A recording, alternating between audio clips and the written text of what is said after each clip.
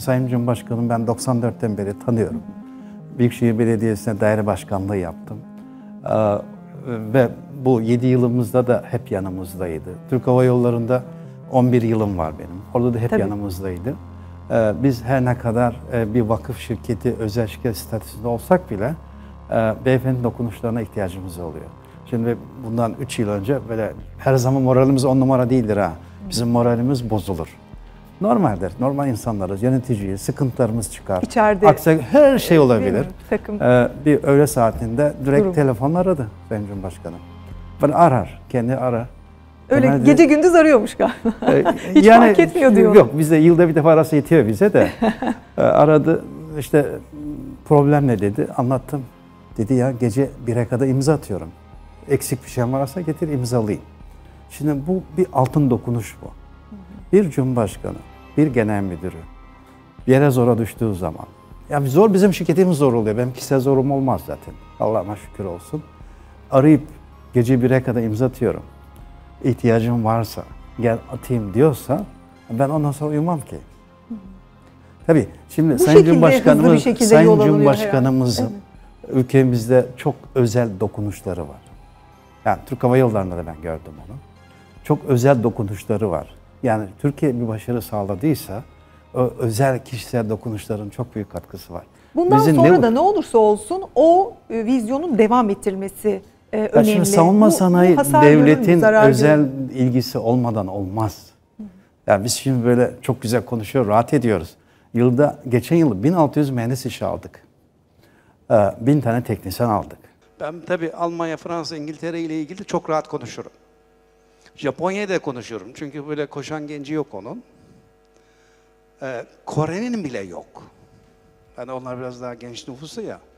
Olay Türkiye'nin en büyük nasibi gençler. Sizler de gençsiniz. Türkiye bu gençleri yani sabahlayabilen gençleri benim üç tane videom var onları bir görelim mi? Üç video vardı. Sırası önemli değil. Onlar tek tek bir görelim. Olur mu? Yalnız bu koşanlar yok. ha, Başkaları da var. Biz 20'de Aralık'ta uçacağız diye Kesinlikle söz para için hiç kimse e, bu kadar yoğun bir tempoda ve bu kadar yoğun bir enerjiyle Arkadaşlar çalışamaz. izin aldım. Onu gösterebiliyor. E, bizi burada tutan motivasyon aslında e, milli muharip uçağımızı yapmak.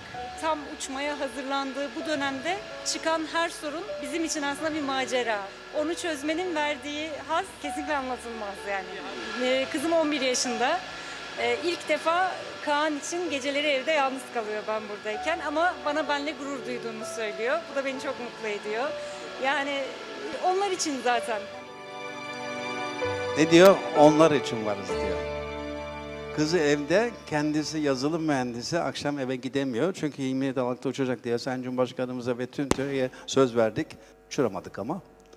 Ee, arkadaşımız eve akşam gitmiyor. Ee, bir telefon kızın yanında sabaha kadar açık. Kızı uyuyor 11 yaşında. Bir telefon kendi yanında sabaha kadar açık ve kod yazabiliyor. Yani bu bayağı şey ister, ha, yürek ister. Bir tane daha var.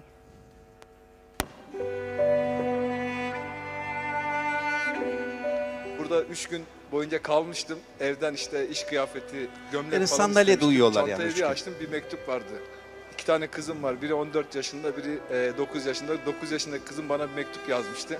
Baba ben seni çok özledim. Şu an bile ağlıyorum. Duyduğuma göre pazar günü gelecekmişsin. Ben, annem, ablam ve Mia seni çok özledik.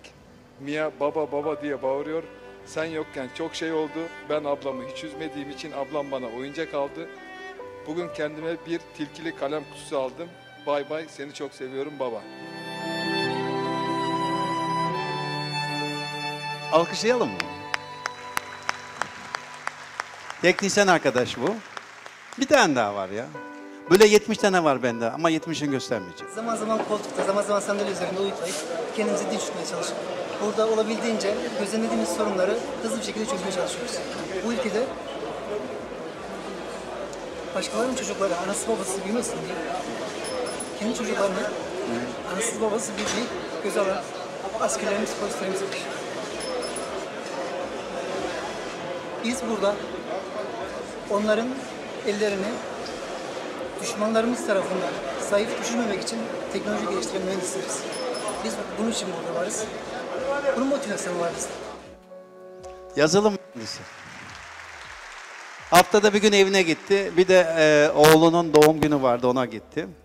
Şimdi arkadaşlar Türkiye'nin farkı bu. Biz TUSAŞ'ta bunu çok çok çok güzel özellikle Kaan'da gördük. Eğer genç arkadaşları yeterince bir araya getirebiliyorsanız, onlara imkan verebiliyorsanız, onlar devrim yapıyorlar ve e, sonuçta Kaan çıktı. Ben şimdi Kaan'ı toparlayayım çünkü hep Kaan nasıl tutmayayım biraz sonra hadi ilginiz dağılacak. Kaan 5. nesil bir savaş uçağı. F-16, Eurofighter, Rafael, e, Su-35 bunlar e, dördüncü, dört buçuk nesil bu tip uçaklar.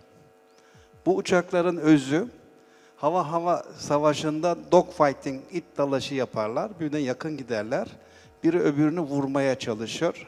Öbürü de atılan füzeden kurtulmaya, sıkılan toptan, 20 metre top olur genelde, kaçmaya çalışır. Bir. İkincisi bunların üzerinde bombalar, hava yer bombaları bu- bulunur, akıllı bombalar ve bunları hedefe atar. Ama bu ara radar bunu görür ve yerden buna hava savunma sistemi füze gönderir. Bu grup uçakların özelliği bu. Bu dün çok işe yarıyordu.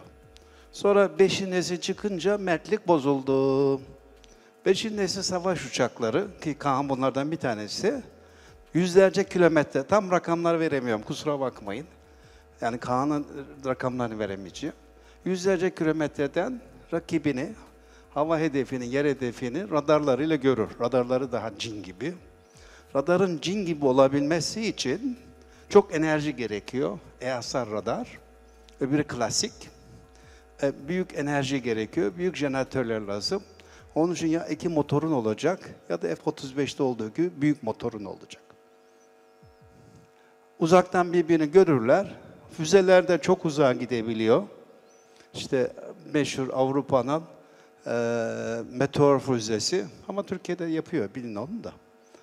Çok uzaktan gidebilen füzelerle radar hedefine kilitlenir ve füzeye söyler sağa git, sola git ve hedefini vurur.